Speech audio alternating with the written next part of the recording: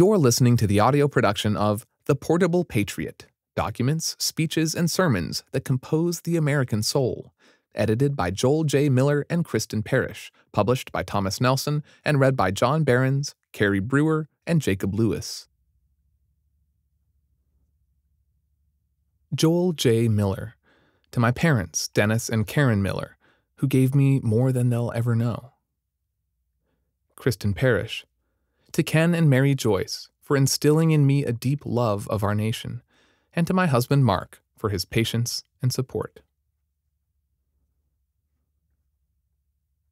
It does not require a majority to prevail, but rather an irate, tireless minority keen to set brush fires in people's minds. Samuel Adams.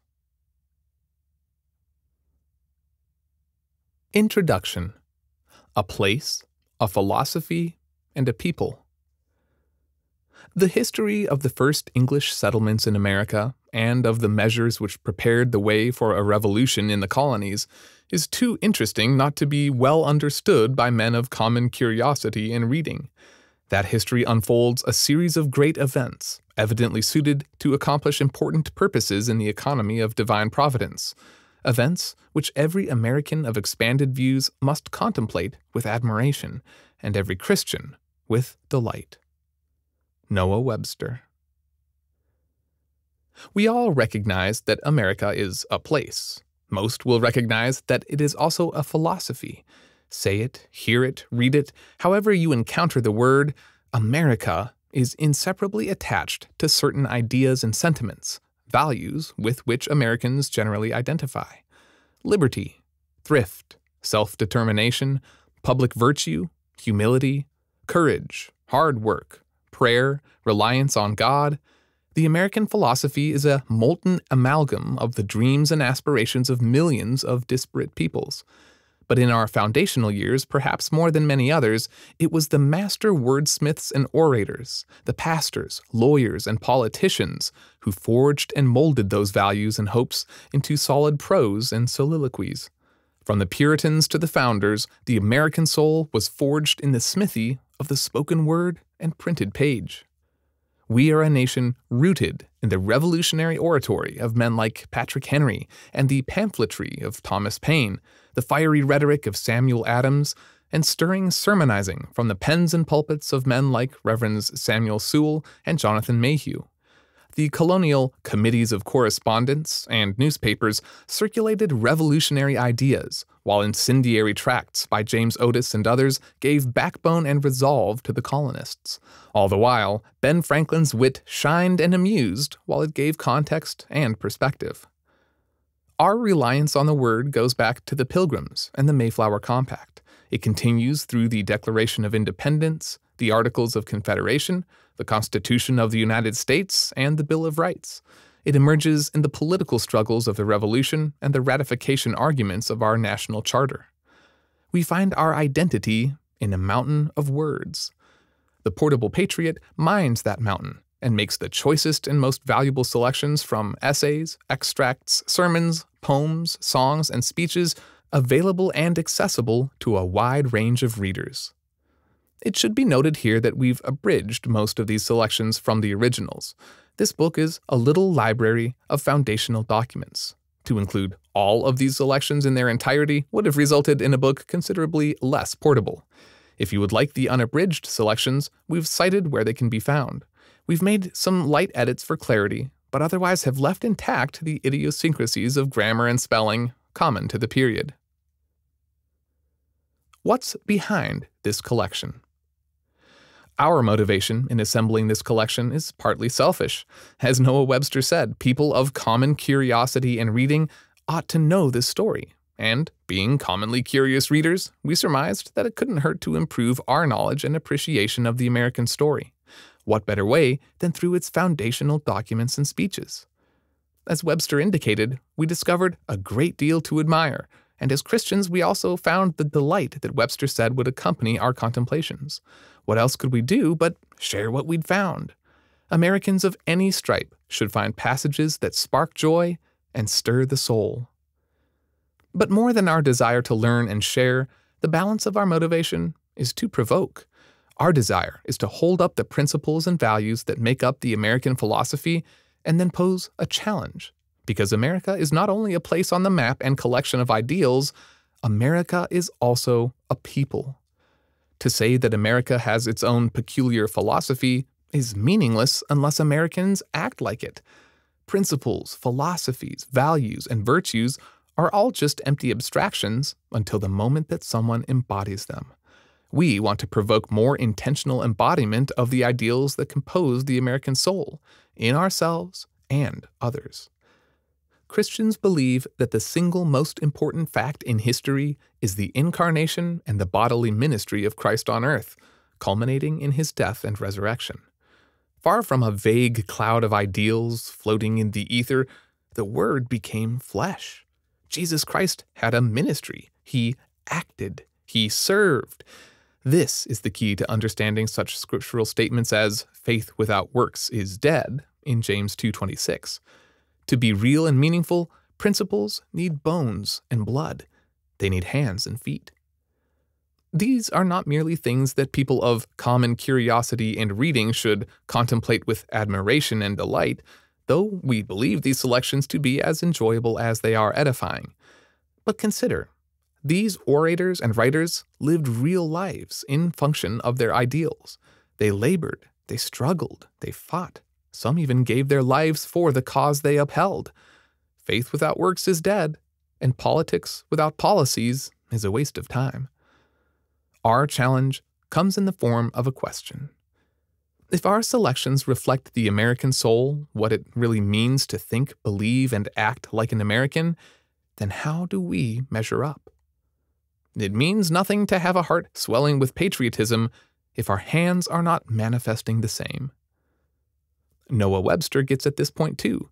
In his 1828 American Dictionary, he defines patriotism as the passion which aims to serve one's country, either in defending it from invasion or protecting its rights and maintaining its laws and institutions in vigor and purity. Patriotism is the characteristic of a good citizen, the noblest passion that animates a man in the character of a citizen. Passion and service, ideas and action. Webster sees the connection plainly enough. Do we? Part 1 Beginnings the stories of the early English settlers are a fascinating blend of trial and tribulation, prayer and steadfast hope, and their writings reflect it. The sense of promise and expectation flows through the lines of many writers from the time. The entries here are chosen to point to some themes that will feature throughout the foundational American experience. The use of the adjective foundational is intentional. While it is a mistake to conflate the events from the days of English settlement with the founding period, they are undoubtedly linked. There are no discrete or mere facts in history. Everything is dependent on everything else because history is a web of related people, places, and events. We bear the stamp of those who came before us, and that was just as true for the founders as it was for us. The Pilgrims, and a host of other people who were long in the grave when the founders finally drafted the U.S. Constitution, played a vital role in the century and a half that followed because they helped shape the world that the founders inherited. That fact seems obvious when you see the strong streak of independence that was manifest from the first and would eventually produce the rift between the mother country and her colonies, aspects you'll see hinted at in these selections. It's also apparent in the assumed reliance on providence and God's direction and help in the events unfolding at the time. Item 1 The Mayflower Compact. The Mayflower, a ship of 180 tons, set sail from England in 1620. Aboard were 102 souls determined to cross the Atlantic. After 63 stormy days, they landed at Plymouth, Massachusetts, where Plymouth Rock, a huge granite boulder, stood at the water's edge. These first settlers signed a covenant called the Mayflower Compact just days after they landed in their new home.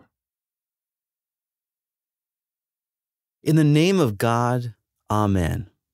We whose names are underwritten, the loyal subjects of our dread sovereign Lord, King James, by the grace of God, of Great Britain, France, and Ireland, King. Defender of the faith, etc., have undertaken for the glory of God and the advancement of the Christian faith, and honor of our King and country, a voyage to plant the first colony in the northern parts of Virginia.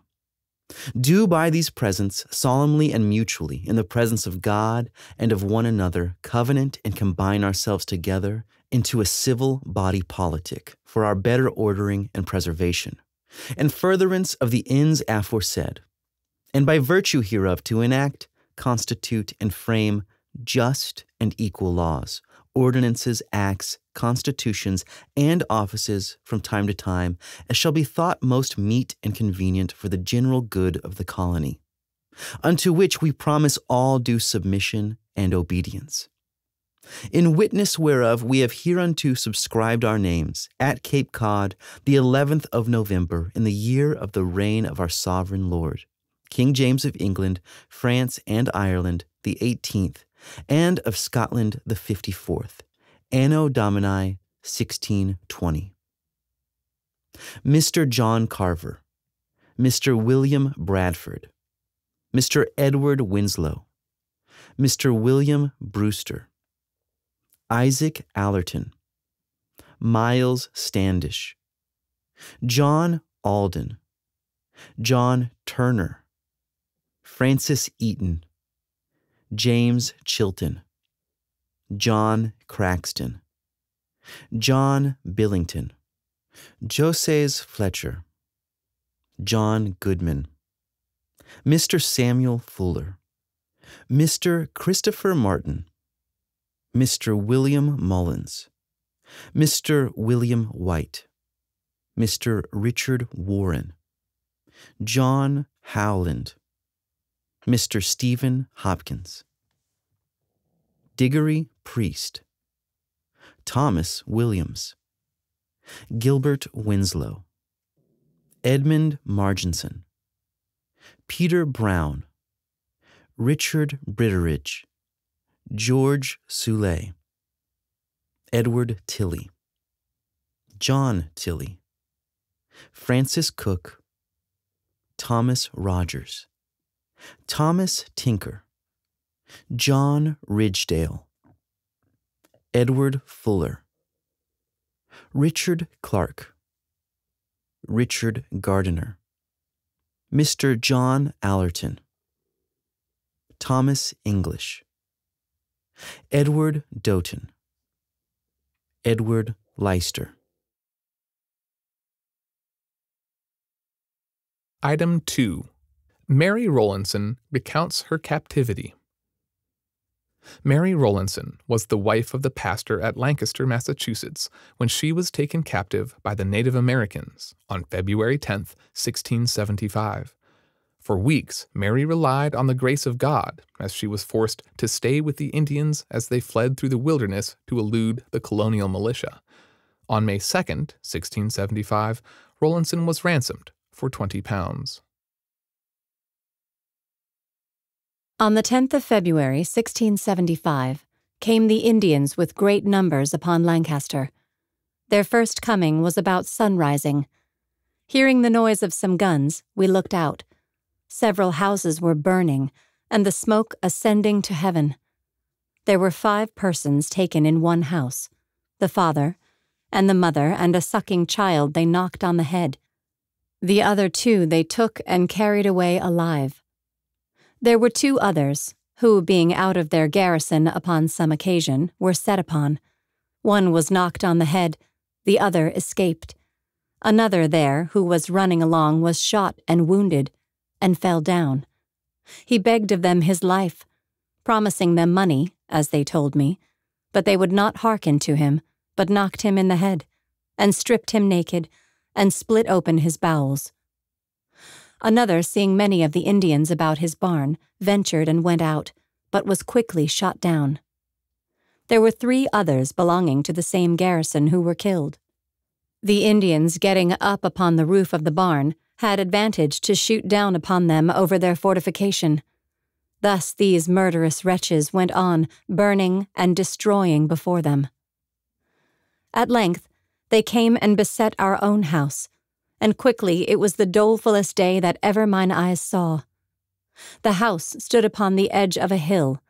Some of the Indians got behind the hill, others into the barn, and others behind anything that could shelter them, from all which places they shot against the house, so that the bullets seemed to fly like hail. And quickly they wounded one man among us, then another, and then a third. About two hours, according to my observation, in that amazing time. They had been about the house before they prevailed to fire it, which they did with flax and hemp, which they brought out of the barn, and there being no defense about the house, only two flankers at two opposite corners, and one of them not finished. They fired it once, and one ventured out and quenched it. But they quickly. We hope you enjoyed this preview. To continue listening to this audiobook on Google Play Books, use the link in the video description.